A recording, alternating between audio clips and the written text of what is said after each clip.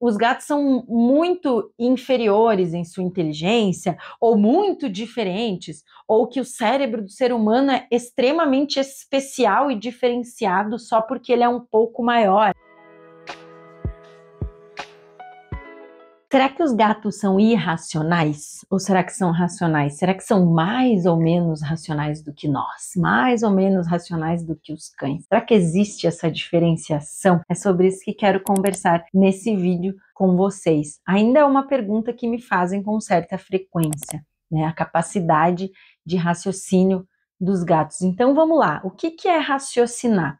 Raciocinar é a capacidade de pensar, de associar mais de uma informação e entender aquilo, concluir algo, ter ideias. Raciocínio está relacionado à memória, ao aprendizado. Todo animal que aprende raciocina. Não tem como haver aprendizado sem raciocínio, porque o raciocínio é o que permite o gato entender alguma coisa nova, memorizar isso e a partir dessa memória mudar o seu comportamento. E isso é a definição de aprendizado. Aprendizado é quando a gente muda um comportamento a partir de alguma informação que a gente memorizou. E quando eu falo a gente, eu estou me referindo a nós humanos, gatos e cachorros também, tá? Então, raciocinar é essa capacidade, né? Que é uma função do cérebro. Então, o cérebro tem várias funções.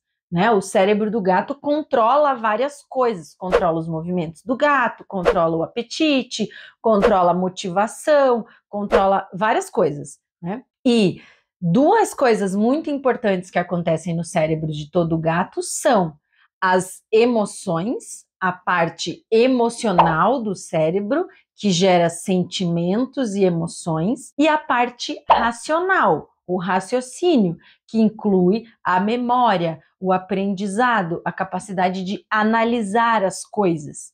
Então, nós humanos temos estruturas cerebrais para fazer essas duas coisas, e os gatos também, e os cachorros também. Então, é uma função sim do cérebro dos gatos o raciocínio. O raciocínio é uma das capacidades mentais do gato. Mente inclui todas as atividades do cérebro, com exceção das atividades de controle motor, etc. Então, na mente dos gatos, a gente tem funções como inteligência, o pensar, o sentir, o lembrar. Então, o cérebro do gato é capaz de memorizar e de pegar duas informações do ambiente e concluir alguma coisa, ou três, ou quatro, ou mais. E será que os gatos são menos racionais ou mais racionais do que nós? Atualmente, na neurociência, não se considera o raciocínio como algo que a gente mede em mais ou menos. O que a gente tem de diferente são algumas habilidades, né? E alguns tipos de pensamento que são mais frequentes numa espécie e menos em outra. Então, as capacidades mentais, elas são as mesmas capacidades, tá? Então o gato não é nem mais racional, nem menos racional do que a gente, mas dentro da capacidade de inteligência, raciocínio, eles têm algumas habilidades a mais do que nós, outras a menos. Eles têm algumas coisas que eles pensam diferente da gente e assim como nós. E o mesmo vale para cães também. Então, por exemplo, o que, que é uma diferença nas habilidades mentais do ser humano?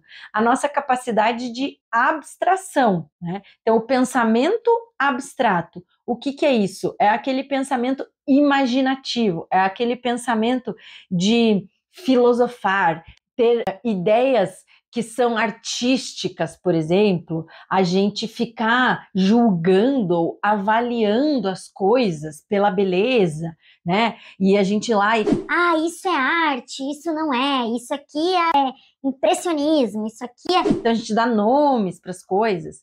E aí a gente tem é, variações, na verdade, de abstração também entre os seres humanos. A própria matemática envolve muito de pensamento abstrato. Os gatos também têm um certo grau de pensamento abstrato, mas ele é um pouco menos frequente do que nos seres humanos.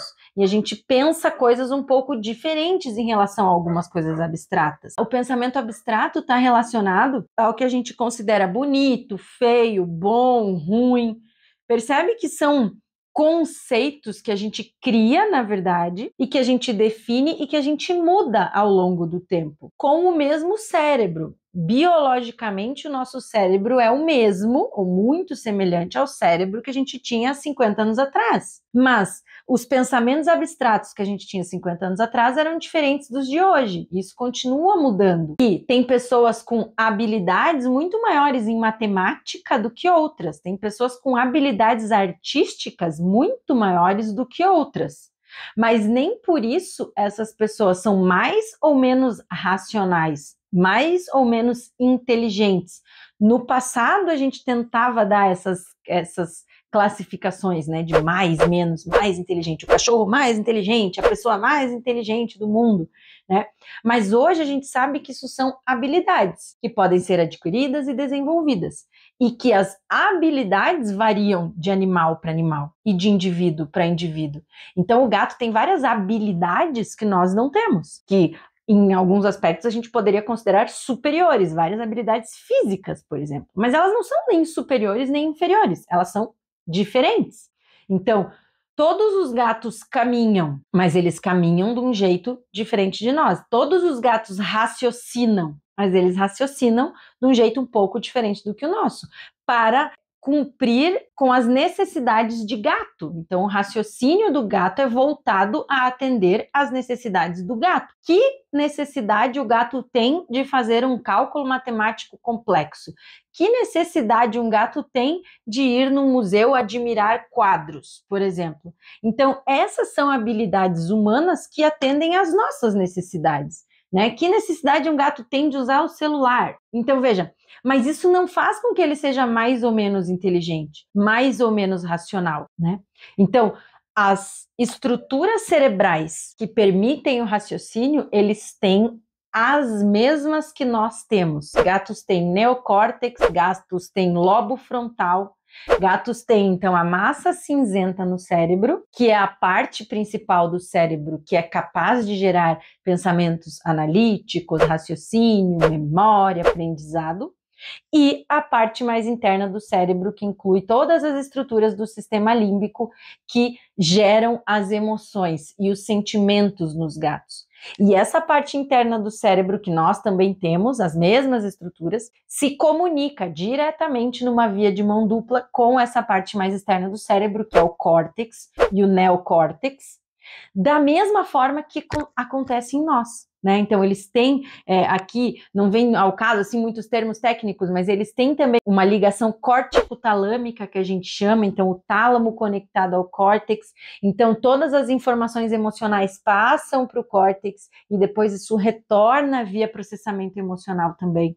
Os gatos têm a mesma capacidade que nós temos de sentir emoções como felicidade, alegria, tristeza, raiva, medo, ódio, insegurança, desgosto, nojo. Então, as estruturas que permitem que isso aconteça no nosso organismo também estão presentes nos gatos, as mesmas estruturas.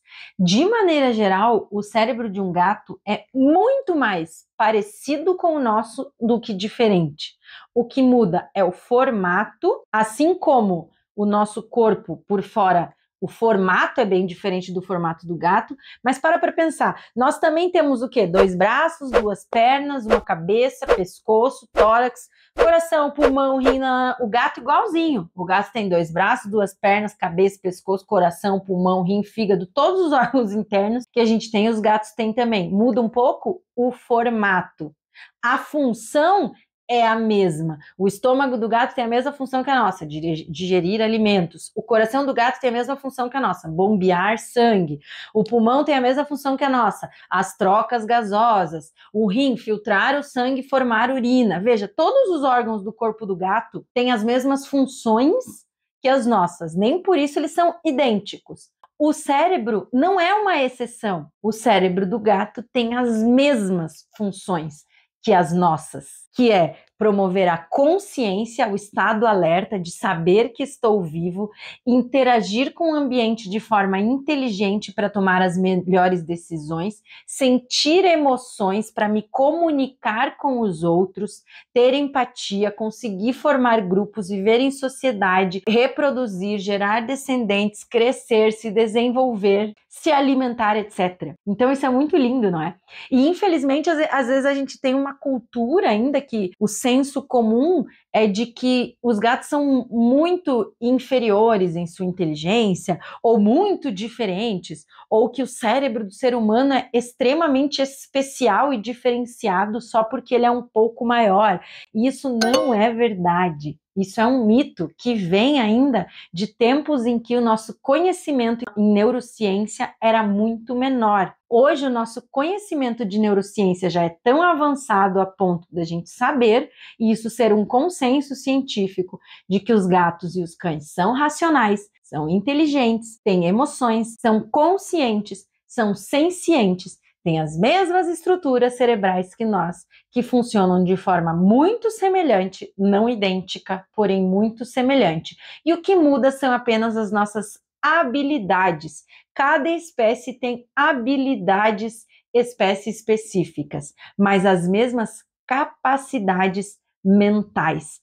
Fez sentido, gente? Espero de coração que eu tenha conseguido ensinar alguma coisa aqui para vocês nesse vídeo. Se você gostou, dá um like. Toda vez que você dá um like nesse vídeo, aumenta a chance do YouTube entregar esse vídeo para mais pessoas que amam gatos e a gente ter mais e mais conhecimento de qualidade espalhado aí para as gateiras e para os gateiros e com isso os gatos vão ser mais felizes.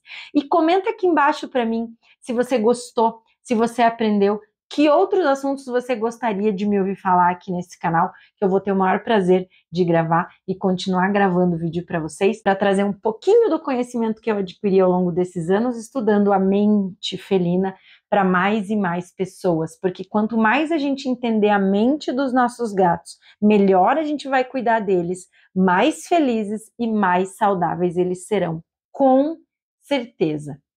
Beijo grande, vou ficando por aqui.